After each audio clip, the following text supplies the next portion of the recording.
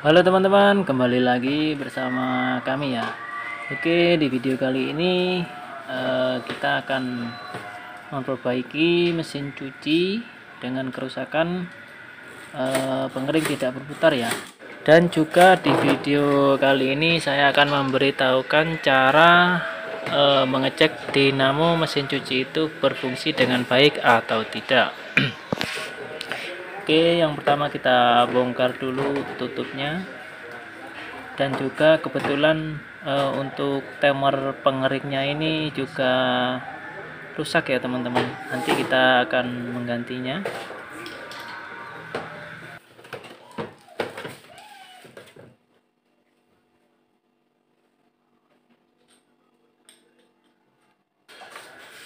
Nah, kalau yang ini untuk timer pembuangan ya dia juga patah. Nanti sekalian kita ganti. Nah untuk timer pembuangan itu yang ini teman-teman.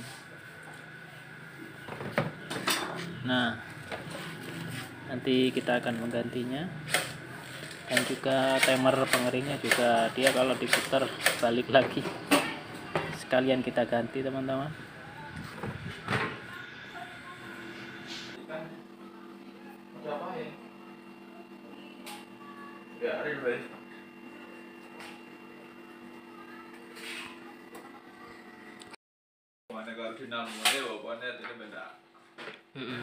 Oh ya teman-teman, uh, untuk pengering yang tidak berputar itu tidak harus ganti dinamo ya teman-teman. Teman-teman bisa cek juga di bagian switch sini teman-teman.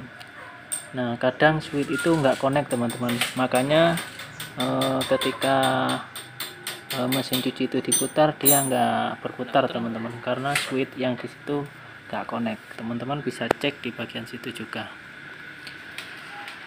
Nah, untuk yang dinamo eh, ini saya akan memberitahukan caranya eh, mengecek dinamo itu berfungsi dengan baik atau tidak, teman-teman. Ataupun eh, spoolnya itu putus atau enggak gitu, teman-teman.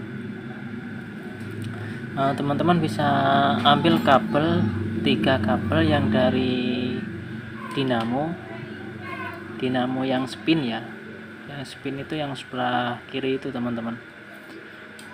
E, ambil tiga kabel yang dari spin. Lalu teman-teman bisa cek ya teman-teman antara satu dengan yang lain menggunakan AVO ya e, bisa cek satu dengan yang lain.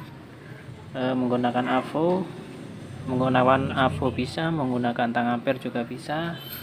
Yang penting terkonek semua teman-teman. Apabila semuanya itu terkonek uh, maka dinamo itu berfungsi dengan baik ya teman-teman.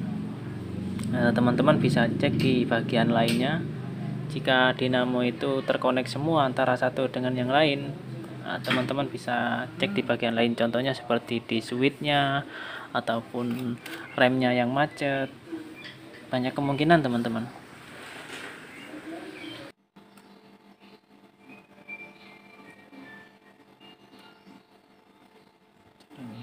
Hmm?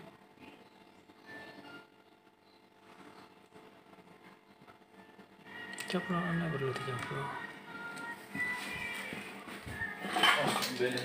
iya.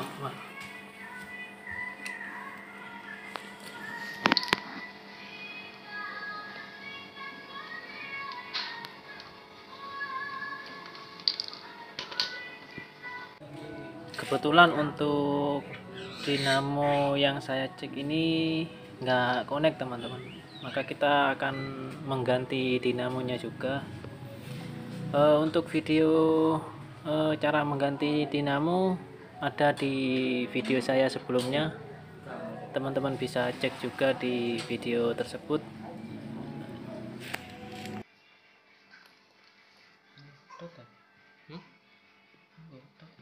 Oke teman-teman, sampai di sini dulu video pembahasan kali ini. Semoga bermanfaat ya. Nah, jika teman-teman mempunyai saran ataupun pertanyaan, silahkan komen di bawah. Jangan lupa dukung channel ini dengan cara like, komen, dan subscribe. Dan juga hidupkan loncengnya ya, agar tidak ketinggalan info terbaru dari kami. Assalamualaikum warahmatullahi wabarakatuh.